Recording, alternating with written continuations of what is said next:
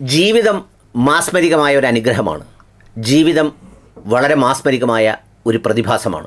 ആ അനുഗ്രഹവും പ്രതിഭാസവും ആവോളം തിരിച്ചറിവോടെ ആസ്വദിക്കുക എന്നുള്ളതാണ് മനുഷ്യജീവിതത്തിന്റെ ഏറ്റവും പ്രധാനപ്പെട്ട ലക്ഷ്യങ്ങളിലൊന്ന്. അതിന് സഹായകരമാകുന്നതാകണം നമ്മുടെ ചിന്ത. ചിന്തിക്കുക എന്ന് പറയുന്നതും മനുഷ്യന് ലഭിച്ച അപൂർവമായ ഒരു ഭാഗ്യമാണ്.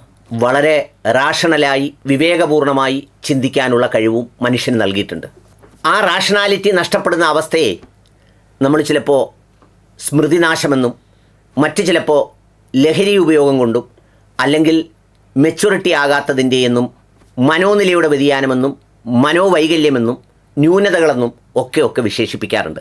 ഞാനത് പറയാൻ കാരണം മറ്റൊന്നുമല്ല. കഴിഞ്ഞ കുറേ ദിവസങ്ങളായി ഒരു ആൾ എന്നെ നിരന്തരം വിളിച്ചുകൊണ്ടിരിക്കുന്നു. കാണണം സംസാരിക്കണം. എനിക്ക് കുറച്ച് പ്രയാസങ്ങളുണ്ട് ഉത്കണ്ഠകളുണ്ട്. ഞാൻ പലപ്പോഴും സമയമില്ലാത്തതുകൊണ്ട് ഒഴിവാക്കി ഒഴിവാക്കി മുന്നോട്ട് പോകുമ്പോൾ രണ്ട് ദിവസങ്ങൾക്ക് മുമ്പ് പറഞ്ഞു സാർ എന്നോട് സംസാരിച്ചില്ലെങ്കിൽ എനിക്കിടയ്ക്കിടയ്ക്ക് ആത്മഹത്യ ചെയ്യാൻ തോന്നുന്നു എന്ന് പറഞ്ഞു. അപ്പോൾ എന്റെ മനസ്സിലൊരു വേദന തോന്നി. ഒരുപക്ഷെ അദ്ദേഹത്തെ ഞാൻ കേൾക്കുന്നതിലൂടെ അല്ലെങ്കിൽ അദ്ദേഹവുമായി സംസാരിക്കുന്നതിലൂടെ അങ്ങനെയുള്ള ഒരു ദുരന്തം ഒഴിവാക്കാൻ കഴിഞ്ഞാൽ അല്ലെങ്കിൽ ഞാനതിന് അവസരം കൊടുത്തില്ലെങ്കിൽ അങ്ങനെ ഒരു ദുരന്തം ഉണ്ടായിപ്പോയാൽ അത് വലിയൊരു ഖേദവും ദുഃഖവുമായിരിക്കുമെന്നുള്ളതുകൊണ്ട് ഞാൻ അദ്ദേഹത്തെ കാണാനായി ക്ഷണിച്ചു. അദ്ദേഹം വന്ന് ഒരു കുറേ കാര്യങ്ങൾ എന്നോട് പറഞ്ഞു. അത് പറയുമ്പോൾ വളരെ സന്തോഷഭാവത്തിൽ വളരെ ഒരു റിസീവിങ് മൈൻഡിൽ ഞാനത് കേൾക്കുമ്പോഴും എന്റെ ഉള്ളിൽ ഞാൻ ചിരിക്കുകയായിരുന്നു. വേറൊന്നും കൊണ്ടല്ല ചിരിച്ചത്. സത്യം പറഞ്ഞാൽ ഒരു പ്രസക്തിയുമില്ലാത്ത യാതൊന്നും സംഭവിക്കാത്ത ഒരു കാര്യത്തെക്കുറിച്ചാണ് അദ്ദേഹം ഉത്കണ്ഠപ്പെടുന്നത്. ഞാൻ ആ കാര്യത്തിന്റെ വിശദാംശങ്ങൾ പറയുന്നില്ല. അതൊരു കോൺഫിഡൻഷ്യാലിറ്റിയുടെ ഭാഗമാണ്. പക്ഷേ ഇവിടെ ഒരു പ്രധാനപ്പെട്ട കാര്യം. ഇന്ന് ധാരാളം മനുഷ്യരെ അലട്ടുന്ന ഒരു പ്രധാന വിഷയമാണ് ഈ ഓവർ തിങ്കിങ് അഥവാ അമിത ചിന്ത. ഈ അമിത ചിന്ത ഒരു വലിയ പോയിസണാണ് മാരകമായ ഒരു വിഷമാണ്. ചിന്തിക്കാം ചിന്തിക്കണം. എന്നാൽ ചില കാര്യങ്ങളെക്കുറിച്ച് അമിതമായി ചിന്തിച്ച് ചിന്തിച്ച് ഇല്ലാത്ത ഒരു പ്രശ്നത്തെ ഉണ്ടാക്കി അതിനെ മുന്നിൽ കൊണ്ടുവന്ന് പ്രതിഷ്ഠിക്കുകയും നല്ല നല്ല അനുഭവങ്ങളിലൂടെയും നല്ല നല്ല ഓർമ്മകളിലൂടെയും സഞ്ചരിക്കേണ്ടതിന് പകരം വേദനിപ്പിച്ചതും വേട്ടയാടിയതും ഇനി സംഭവിക്കാൻ പോകുന്നത് എന്ന് വിശ്വസിക്കുന്ന കുറേ ദുരന്തങ്ങൾ ഓർത്തും ജീവിതം പാഴാക്കി കളയുന്ന ഒരു കുറേ മനുഷ്യരുണ്ട്. പലപ്പോഴും ഈ അമിത ചിന്ത രണ്ട് കാരണങ്ങൾ കൊണ്ടാണ് ഉണ്ടാകുന്നത്. ഒന്ന് ഭൂതകാലത്തിന്റെ ഓർമ്മകൾ. മറ്റൊന്ന് ഭാവി കാലത്ത് വരാനിരിക്കുന്നത് എന്ന് വിശ്വസിക്കുന്ന ഒരു കുറേ കാര്യങ്ങൾ. അതിൽ രോഗമുണ്ട് മരണഭയമുണ്ട് കടബാധ്യതയെക്കുറിച്ചുള്ള ചിന്തയുണ്ട് മക്കളുടെ ഭാവിയെക്കുറിച്ചുള്ള ഉത്കണ്ഠയുണ്ട് ജോലിസ്ഥലത്തെ പ്രശ്നങ്ങളുണ്ട് എന്ന് വേണ്ട അങ്ങനെയുള്ള ആളുകൾക്ക് എല്ലാമെല്ലാം എല്ലാം പ്രശ്നങ്ങളാണ് എന്നതാണ് ഒരു സത്യം. ഈ മനസ്സ് മനസ്സെന്ന് പറയുന്നത് ഒരു പട്ടം പോലെയാണ്. നമ്മളതിനെ സാധാരണ ഇങ്ങനെ പറത്തി വിട്ടാൽ അത് ഏത് ദിശയിലേക്കാണോ കാറ്റ് കൂടുതലുള്ളത് ആ ദിശയിലേക്ക് അങ്ങനെ സഞ്ചരിച്ച് സഞ്ചരിച്ച് നമ്മുടെയൊക്കെ നാട്ടിലെ നാടൻ ഭാഷയിൽ എന്റെയൊക്കെ ബാല്യത്തിൽ പറയുന്ന ഭാഷയിൽ പറഞ്ഞാൽ അതങ്ങ് മേക്കാറ്റ് പിടിക്കും. പിന്നെ പിടിച്ചു കഴിഞ്ഞാൽ ഈ ചരട് കയ്യിൽ പിടിച്ചിരിക്കുന്നവന്റെ നിയന്ത്രണത്തിലല്ല പിന്നെ ആ പട്ടം. ഏത് നിമിഷവും എന്തും സംഭവിക്കാം. ഈ ഓവർ തിങ്കിങ് എന്ന് പറയുന്ന ഒരു സംഗതിയും അതുതന്നെയാണ്. എന്ന് പറഞ്ഞാൽ കറുത്തവാവിന്റെ അന്ന് അർദ്ധരാത്രിക്ക് ഇല്ലാത്ത പൂച്ചയെ പിടിക്കാൻ ശ്രമിക്കുന്നത് പോലെ നട്ടുച്ച പകലിന്റെ വെളിച്ചത്തിൽ ഇരുട്ടിൽ തപ്പുന്നത് മാതിരി അങ്ങനെ തപ്പിത്തടഞ്ഞ് ജീവിക്കുന്ന ഒരുപാട് മനുഷ്യരുണ്ട്. പ്രിയപ്പെട്ടവരോട് എനിക്ക് പറയാനുള്ളത് നമ്മുടെ മുന്നിലൂടെ നാം പ്രതീക്ഷിക്കുന്ന പ്രശ്നങ്ങളെന്ന് വിചാരിക്കുന്നതിൽ ഒരു പത്ത് ശതമാനം പോലും നാളെ ഭാവിയിൽ നമ്മുടെ അടുത്തേക്ക് വരുമ്പോൾ അതൊരു പ്രശ്നമേ അല്ലാതായി തീരും പ്രസക്തി ഇല്ലാതായി തീരും മറ്റു പല രീതിയിലേക്കും പോകും വർത്തമാന കാലഘട്ടത്തിൽ ഞാൻ നേരത്തെ പറഞ്ഞ പ്രയാസങ്ങളുടെ കൂട്ടത്തിൽ ഒരു പ്രയാസം കൂടിയുണ്ട്. ഈ വർഗീയത കൊടുമ്പിരിക്കൊണ്ടാൽ രാജ്യത്തെക്കുറിച്ചുള്ള ചിന്ത അല്ലെങ്കിൽ എന്തൊക്കെയായിത്തീരും നമ്മുടെ മക്കൾ എങ്ങനെയായിത്തീരും ഇത്തരമുള്ള ചിന്തകൾ ഇക്കാര്യത്തിലുമുണ്ട് സാമ്പത്തിക കാര്യത്തിലുണ്ട് വിദ്യാഭ്യാസ കാര്യത്തിലുണ്ട്. ഇങ്ങനെ ഇങ്ങനെയൊക്കെ ഉണ്ടായി അവസാനം ഉറക്കം പോലും നഷ്ടപ്പെടുന്ന ഒരവസ്ഥയിലേക്ക് എത്തിച്ചേരും.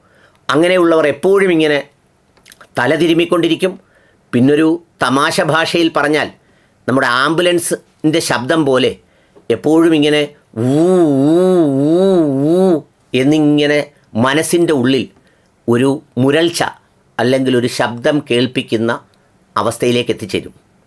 ഇത് നമ്മുടെ ഒരു മാനസിക നിലയുടെയും മാനസികമായ കരുത്തില്ലായ്മയുടെയും ലക്ഷണമാണെന്നുള്ളതാണ് ഏറ്റവും പ്രധാനപ്പെട്ട കാര്യം. അതുകൊണ്ട് ഒരു വിഷയത്തെക്കുറിച്ചും അമിതമായി ചിന്തിച്ച് അമിതമായി ആകുലപ്പെട്ട് അതിങ്ങനെ കുറേ സമയം മനസ്സിൽ ഹോൾഡ് ചെയ്ത് വെച്ചിരുന്നാൽ അതിന്റെ ഭാരം വളരെ നമ്മൾ സാധാരണ പറയുന്ന ഗുണിതക്കണക്ക് പോലെ ഇങ്ങനെ കൂടിക്കൊണ്ടേയിരിക്കും. ഒരു ഉദാഹരണത്തിന് ഇതൊരു മൊബൈൽ ഫോണാണ്. ഞാനിതിനെ ഒരു നിമിഷം കയ്യിൽ വെച്ചിരുന്നാൽ എനിക്കത്ര പ്രയാസമൊന്നും തോന്നില്ല. ഇത് അരമണിക്കൂർ ഞാനിങ്ങനെ പിടിച്ചാൽ അസ്വസ്ഥത തോന്നിത്തുടങ്ങും. രണ്ട് മണിക്കൂർ പിടിച്ചാൽ അസ്വസ്ഥത കൂടും. ആറ് മണിക്കൂർ പിടിച്ചാൽ ആ അസ്വസ്ഥത വല്ലാത്തൊരു വേദനയായി തീരും. ഒരു ദിവസം മൊത്തം പിടിച്ചാൽ ഞാൻ ഈ കൈകൾ വേദനിച്ചിട്ട് ഇത് ചിലപ്പോൾ വളരെ ക്രോധത്തോടെ താഴേക്ക് എറിയുകയോ വീഴുകയോ ചെയ്ത് പൊട്ടിപ്പോവുകയും ചെയ്യും. ജീവിതത്തിലും ടെൻഷനുകൾ ഇങ്ങനെയാണ്. ഓവർ ചിന്തകൾ ഇങ്ങനെയാണ്. ഒരുപാട് മനുഷ്യരുണ്ട് ഇങ്ങനെ അമിതമായി ചിന്തിച്ച് ചിന്തിച്ച് ചിന്തിച്ച് അവർക്ക് ജീവിതത്തിൽ ലഭിച്ചിരിക്കുന്ന ഭാഗ്യങ്ങൾ പോലും സൗഭാഗ്യങ്ങൾ പോലും അനുഭവിക്കാൻ കഴിയാത്തവണ്ണം ആരും കാണാത്ത വിധം എല്ലാ കൂട്ടത്തിലും ഒറ്റപ്പെട്ട് ഏറ്റവും മനോഹരമായ ഈ വീടിന്റെയും സൗകര്യങ്ങളുടെയും അകത്തളത്തിൽ ഈ ഓവർ തിങ്കിങ് കൊണ്ട് വല്ലാതെ തകർന്ന് തകർന്ന് പോയിക്കൊണ്ടിരിക്കുന്നത്. ഇങ്ങനെ ഓവർ തിങ്ക് ചെയ്യുന്നവർ വിചാരിക്കുന്നത് ഞങ്ങളിങ്ങനെ ഒത്തിരി അതിനെക്കുറിച്ച് ആലോചിക്കുകയാണ്. ബാക്കിയുള്ളവർക്കാർക്കും അത്രയും ഉത്കണ്ഠയില്ല. അവർക്കൊന്നും ഒരു ബോധവുമില്ല. ചില വീട്ടിലെ സ്ത്രീകളൊക്കെ പറയുന്നത് പോലെ മക്കൾ ഇത്രയും വളർന്നു വരുന്നു എന്നുള്ള ഒരു ഒരു ചിന്തയും തന്തയ്ക്കില്ല എന്നൊക്കെ പറയുന്നത് പോലെ ചിന്തിച്ച് ചിന്തിച്ച് ചിന്തിച്ച് യഥാർത്ഥത്തിൽ അവർ നഷ്ടപ്പെടുത്തുന്നത് ഒരു പ്രശ്നത്തെ ശരിയായി പരിഹരിക്കാനുള്ള ഒരവസരമാണ് അവരില്ലാതാക്കുന്നത് അവർ വിചാരിക്കുന്നത് ഇങ്ങനെയാണ് പ്രശ്നം പരിഹരിക്കേണ്ടത് എന്നുള്ളതാണ്. അപ്പോൾ അതുകൊണ്ട് അങ്ങനെ അമിതമായി ചിന്തിച്ച് ഇത് സമയം കളയുന്നതിൽ യാതൊരു അർത്ഥവുമില്ല. ഇതിന് പരിഹാരവും ചികിത്സയും ഉണ്ടോ എന്നുള്ളതാണ് അടുത്ത ചോദ്യം. ഇതിന് പരിഹാരവും ചികിത്സയും യഥാർത്ഥത്തിൽ അവനവന്റെ ഉള്ളിൽ നിന്ന് തന്നെ ഉണ്ടാകേണ്ടതാണ്. എന്റെ മുന്നിൽ ഇരുട്ടുള്ള പ്രദേശമുണ്ട് പ്രകാശമുള്ള പ്രദേശമുണ്ട് അതുപോലെ തന്നെ എനിക്ക് കാണാൻ കഴിയുന്നതുണ്ട് ഇങ്ങനെ വ്യത്യസ്തമായ ഒട്ടേറെ കാര്യങ്ങൾ എന്റെ ഈ ദൃഷ്ടിക്ക് മുന്നിലുണ്ട്. ഏതാണ് ഞാൻ നോക്കാൻ ഇഷ്ടപ്പെടുന്നത് എന്നുള്ളതാണ് ഏറ്റവും പ്രധാനപ്പെട്ട കാര്യം. ഞാൻ നോക്കാൻ ഇഷ്ടപ്പെടേണ്ടത് എനിക്ക് ഏറ്റവും സന്തോഷമുള്ള കാര്യത്തിലേക്കായിരിക്കണം. എനിക്ക് ഏറ്റവും കൂടുതൽ സമാധാനവും സ്വസ്ഥതയും തരുന്ന കാര്യത്തെക്കുറിച്ചാവണം. അങ്ങനെ ഒരു അനുഭവം എല്ലാവരുടെയും ജീവിതത്തിൽ ഉണ്ടാകുമെന്നുള്ളതാണ് സത്യം. ചിലർ പറയും അങ്ങനെ ഒന്നും ഓർക്കാനൊന്നുമില്ല എന്ന് പറയും. സത്യം പറഞ്ഞാൽ അത് എന്തുകൊണ്ടാണ് അങ്ങനെ ഓർക്കാനില്ലാത്തത് അല്ലെങ്കിൽ നിങ്ങൾ കാണാത്തതെന്ന് ചോദിച്ചാൽ ഞാൻ നേരത്തെ പറഞ്ഞതാണ് കർത്തവാവിന്റെ അന്ന് രാത്രിയിൽ കുറ്റാക്കൂരിട്ടത്ത് നിങ്ങൾ നിൽക്കുകയാണ്. നിങ്ങൾ നിൽക്കുകയാണ് എന്ന് പറയുന്നതിനേക്കാൾ ഉപരി നിങ്ങളെ നിങ്ങൾ കൊണ്ടുചെന്ന് നിർത്തിയിരിക്കുകയാണ്. അത് സ്വയം തിരിച്ചറിയുക എന്നുള്ളതാണ് അതിന്റെ ആദ്യത്തെ ചികിത്സ. A problem well put is half solved എന്ന് പറയും.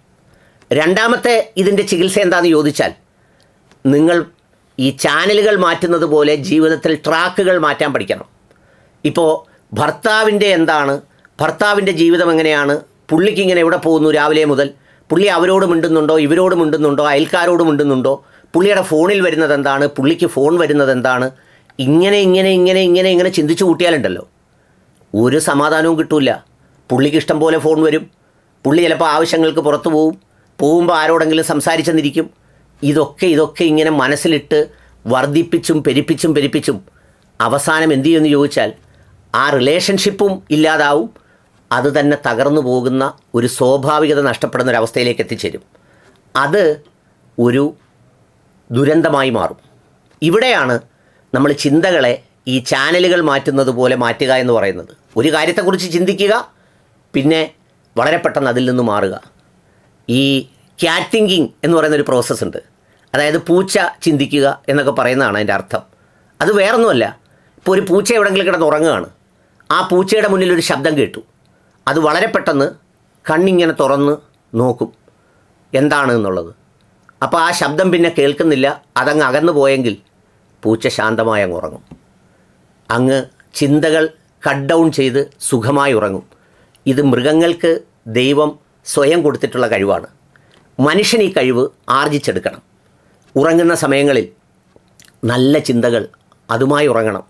ഇത് പറയുമ്പോൾ പലപ്പോഴും രാത്രികളിൽ ഉറങ്ങാൻ കിടക്കുമ്പോൾ ഈ ചാനലുകളിൽ കാണുന്ന ക്രൈം അല്ലെങ്കിൽ എഫ് ഐ ആർ തുടങ്ങിയ ചില പരിപാടികളുണ്ട്. ബഹു വിശേഷമാണ് ഉറങ്ങാൻ പോകുന്ന സമയത്ത് ചാക്കിൽ കെട്ടിയതും അരിഞ്ഞിട്ടതും കൊന്നു തള്ളിയതും ഒക്കെ ആയിട്ടുള്ള കുറേ കഥകൾ കണ്ടിട്ട് കിടന്നാൽ എന്തോ ഒരു നെഗറ്റീവ് എനർജിയാണെന്നറിയാമോ നമ്മുടെ ശരീരത്തിലേക്ക് കയറ്റുന്നത്? എന്ത് കാര്യമാണ് അതിലുള്ളത്? എന്താണ് അതിനെക്കുറിച്ച് ചിന്തിക്കാനുള്ളത്? ഇങ്ങനെ സമൂഹത്തിൽ ഒരുപാട് വ്യത്യസ്തമായ സംഭവങ്ങളും ദുരന്തങ്ങളും അപകടങ്ങളും ഒക്കെ ഒക്കെ നടക്കും. അത് വായിക്കണം പക്ഷേ അതിന് ന്യായമായ കുറച്ച് സമയം കൊടുക്കാവൂ.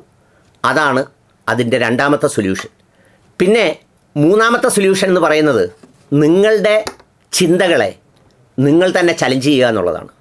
നിങ്ങൾ തന്നെ ഫൈറ്റ് ചെയ്യുക അതിനെതിരെ. ഇതെന്നെ ഹർട്ട് ചെയ്യാനുള്ള നെഗറ്റീവ് ചിന്തയാണ്.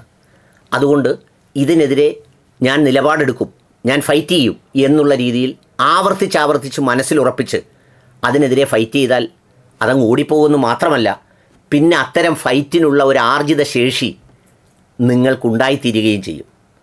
അങ്ങനെ ഉണ്ടായി തീരുന്ന ആ ആർജിത ശേഷി ഭാവിയിൽ നിങ്ങൾക്കിത് വരുന്നതിൽ നിന്ന് തടയുകയും ചെയ്യും. നമ്മൾ സാധാരണ പറയുന്ന ഒരു ഇംഗ്ലീഷ് കൊട്ടേഷൻ ഉണ്ട്. Change is most effective when it comes from within മാറ്റം ഏറ്റവും ഫലപ്രദമാകുന്നത് ആ മാറ്റം ഉള്ളിൽ നിന്ന് വരുമ്പോഴാണ്. അപ്പോൾ അത് ഒരു പ്രധാനപ്പെട്ട കാര്യം.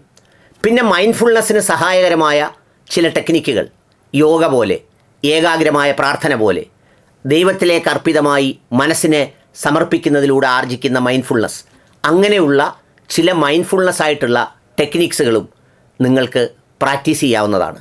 പിന്നെ ഇത്തരം സംഭവങ്ങൾ അനാവശ്യമായി ചൂടാവുക അനാവശ്യമായി സംസാരിക്കുക ഉറക്കമില്ലായ്മ പ്രകടിപ്പിക്കുക ഇല്ലാത്ത അസുഖങ്ങളുണ്ടെന്ന് തോന്നുക അതൊക്കെ ഈ ഓവർ തിങ്കിങ്ങിന്റെ ഒരു പ്രശ്നമാണ്.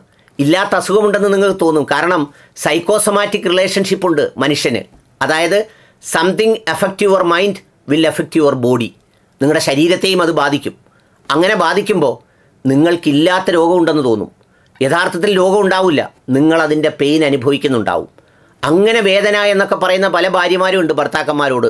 എനിക്ക് അവിടെ വേദന എനിക്ക് ഇവിടെ വേദന എനിക്ക് കൈക്ക് വേദന കാലിന് വേദന എന്നൊക്കെയുള്ള ലക്ഷണങ്ങൾ കാണിച്ചാൽ അല്ലെങ്കിൽ അനാവശ്യമായി ചില ചോദ്യങ്ങളോ ഇതൊക്കെ ഉണ്ടായാൽ വളരെ വിവേകമുള്ള തിങ്കിങ് കപ്പാസിറ്റിയുള്ള ഒരു ഭർത്താവോ അച്ഛനോ ആങ്ങളയോ അല്ലെങ്കിൽ അമ്മയോ ഒക്കെ ധരിക്കേണ്ടത് ഇത് എന്തോ ഒരു മനസ്സിനെ ബാധിക്കുന്ന ഒരു വലിയ വിഷയം. ഒരു ഓവർ തിങ്കിങ് മനസ്സിൽ ഹോൾഡ് ചെയ്തിരിക്കുന്നു എന്നുള്ളതാണ്. ഞാൻ ഈ നേരത്തെ പറഞ്ഞ കാര്യങ്ങളൊക്കെ ഫലപ്രദമാകുന്നില്ലെങ്കിൽ പിന്നെ മരുന്ന് കഴിക്കേണ്ടതും അത്യാവശ്യമാണ്. ഇല്ലെങ്കിൽ ഇത് ആങ്സൈറ്റി ഡിസോർഡറിലേക്കോ ഡിപ്രഷനിലേക്കോ പോകാം. അങ്ങനെ ആങ്സൈറ്റി ഡിസോർഡറിലേക്കോ ഡിപ്രഷനിലേക്കോ പോയാൽ അതുകൊണ്ട് മരണം വരെ സംഭവിക്കാം. ആത്മഹത്യ വരെ ഉണ്ടായെന്ന് വന്നേക്കാം. വേറൊരാൾ കേൾക്കുമ്പോൾ അയ്യോ ഇത്രയും നിസ്സാര കാരണത്തിന് ഇവൻ ആത്മഹത്യ ചെയ്തോ? എന്നൊക്കെ വിചാരിക്കും. പക്ഷേ ആ ആളിനെ സംബന്ധിച്ചിടത്തോളം ആ ഓവർ തിങ്കിങ് അയാളുടെ മനസ്സിൽ വല്ലാത്തൊരു ഭാരമായി മാറുന്നു എന്നുള്ളതാണ് ഒരു പ്രധാനപ്പെട്ട സത്യം. പിന്നെ അവർ ആത്മഹത്യയിലേക്ക് പോകുന്നത് അത്തരമൊരു ബോധമില്ലായ്മയുടെ അവസ്ഥയിലാണ്. അതിന് അവരെ കുറ്റം പറഞ്ഞിട്ട് കാര്യമില്ല. അവരുടെ ഈ കാരണം എന്താണെന്ന് കേൾക്കാൻ അല്ലെങ്കിൽ ഒന്ന് ചേർത്ത് പിടിക്കാൻ.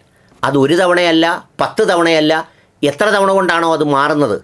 അത്രയും തവണ കേൾക്കാനായി ഒരു മനസ്സ് നമുക്കുണ്ടാവുക എന്നുള്ളത് പ്രധാനമാണ്.